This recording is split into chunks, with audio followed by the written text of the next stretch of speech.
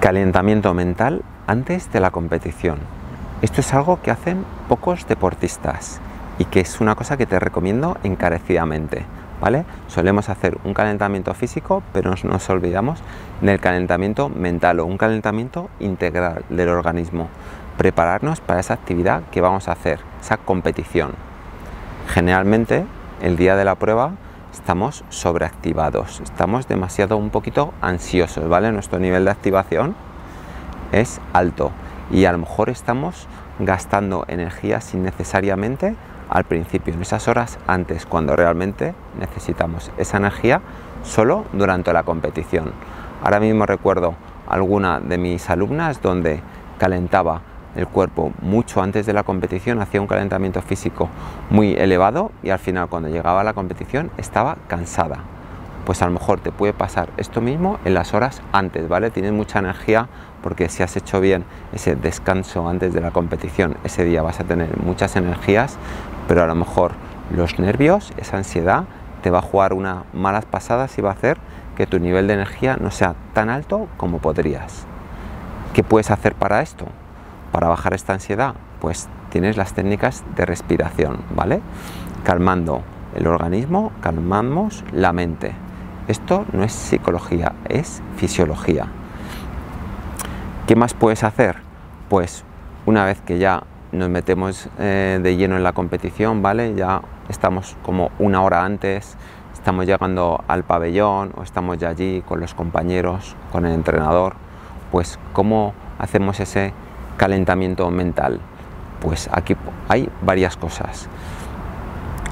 Muchas son parecidas a las que ya hacías en el calentamiento mental durante los entrenamientos, como por ejemplo, pues imaginarte esas sensaciones positivas que tienes en la actividad que vas a hacer, ¿vale? Decirte tus frases favoritas, mmm, ver ese reto que supone, ¿vale? Pues lo que pasa es que en la competición es todavía más amplio.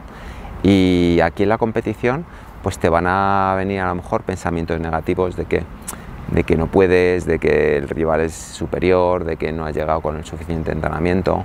Pues aquí utiliza la técnica cognitiva de detención del pensamiento. Stop, para, ya.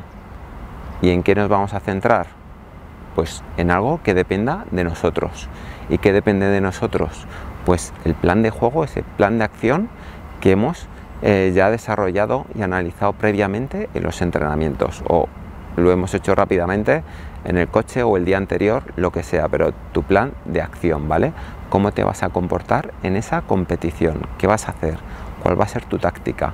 ¿Cuáles van a ser tus rutinas? Si vas a reutilizar rutinas que tenías en el entrenamiento o justo rutinas que solo utilizas en la competición. También repasar cuáles son tus principales dificultades y tener un plan para minimizarlas, ¿vale? O neutralizarlas en la medida de lo posible.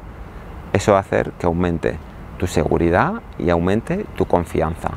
Aumentando la confianza conseguimos entrar en la competición pues con unas sensaciones mucho mejores, ¿vale? La confianza es la variable psicológica clave para hacer una buena competición. Y una técnica que puedes hacer es anclar esta rutina mental de pongo foco, atención ya a la competición. Hay muchos deportistas que ponen el switch de modo competición.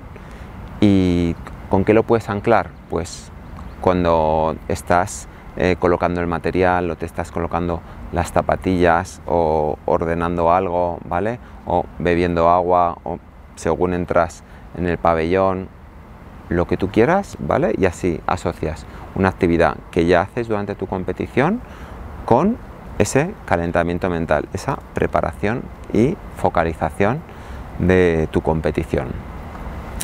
Pues nada, espero que te guste este vídeo, que hagas ese calentamiento mental, además del calentamiento físico habitual.